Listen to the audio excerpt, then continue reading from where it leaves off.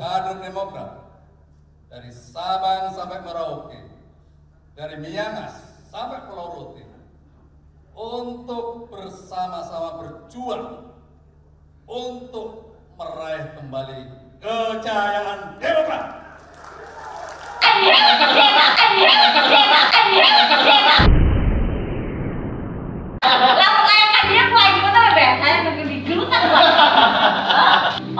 Tidur bangun tiba-tiba dia langsung melek gitu terus mimpi hayang iya kan gitu kan. Ini orang kayak gini, jadi tidak mau berdarah-darah membangun partai, tetapi tadi itu dia ingin langsung menjadi seseorang tanpa mau capek kan begitu. Partai Demokrat dibantu solid dan kami siap berperang.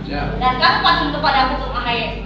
Jadi kalau ada yang menyebutkan ketum kami tidak mampu memimpin, Anda terbesar.